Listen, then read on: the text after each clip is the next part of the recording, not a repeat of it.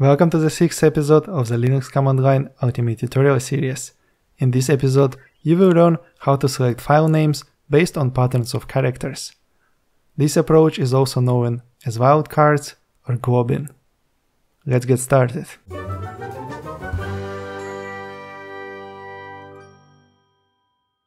Here I have created several files with different file names to show you how can you select these files based on the pattern of their file name.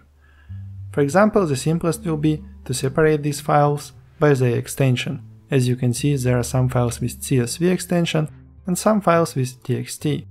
And the simplest way to separate them would be to type ls, then you put star sign, which means any character and any number of characters.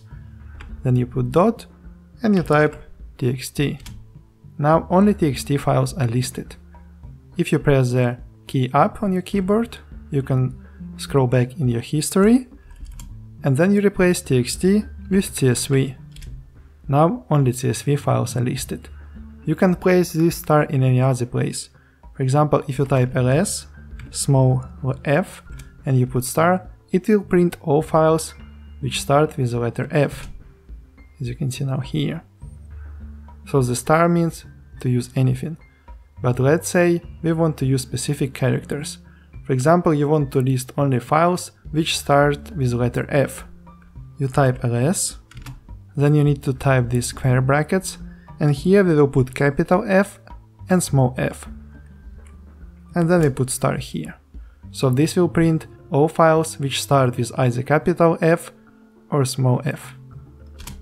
And as you can see, we have file names which start with uppercase f and lowercase f. Following the same principle, we can also print file names which do not start with uppercase f and lowercase f.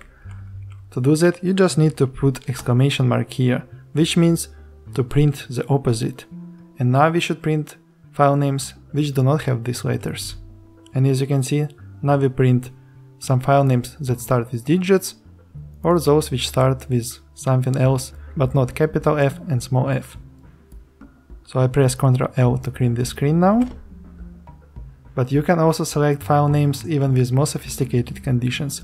For example here, if I list all the files which start with capital F, you can see I have some files which also has letters here, ST, and some has just one letter here, S. And some of them also have digits. For example, if you want to print file names which have file in their name, then there is any character, but you don't know which one. But you know that there is only one character. So you type question mark, you type dot txt. So this will print all files which have file in their file name, any character, and then dot .txt. And as you can see, now this file name has been excluded because it has two characters here. So if we put two exclamation marks here, it will print us only that file. Yes, that's true as you can see here. So the star sign means any character and any number of characters, but the question mark means only one character. You can also use such things as classes. For example, if you want to print file names which start with a letter, and you want to exclude those which start with digit. To do that you type ls, then you again put square brackets to define the condition you want to use, and here you can put the class name. So you type square brackets again, then you put columns, and we write here alpha. This means to use alphabetic character, and then we put star. What goes after this alphabetic character doesn't matter for us. And as you can see now, it printed everything except these file names, which come with digits. You can type exclamation mark here, and it will print only those which start with a digit.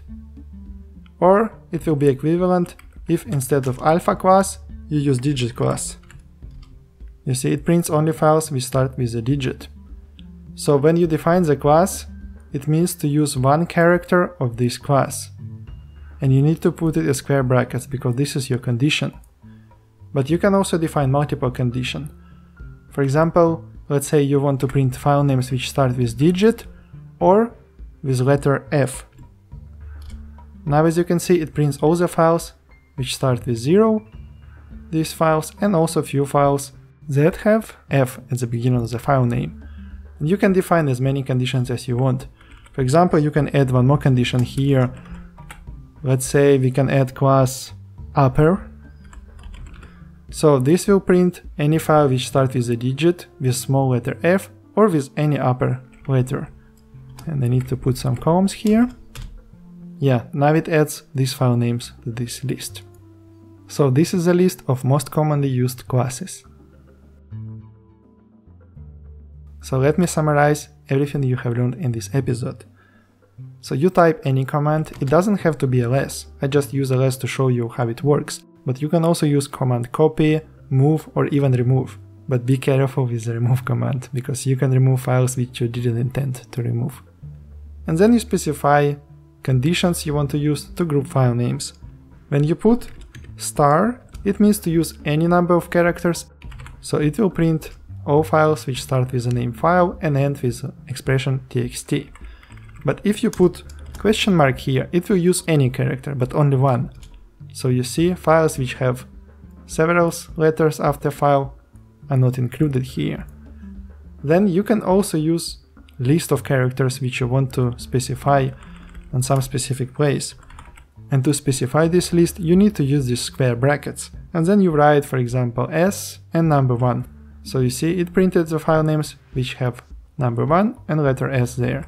If you add star here, it will also include all file names which have any other character after these characters. So the square brackets here is applied only to one character, but you can specify as many conditions as you want here. For example, you can also put star here, and let's say we write s1, and you can also add classes here. But class is also in square brackets, so that's why you have these double square brackets which may be a little bit confusing. But this outside square brackets specifies the condition you want to use, and these inside square brackets, they define the class. So let's say we use class upper here. So it will include file names which have s, 1 and upper letter in the end of the file name, but before the file extension. So now you see this file name has also been included because it has letter T here.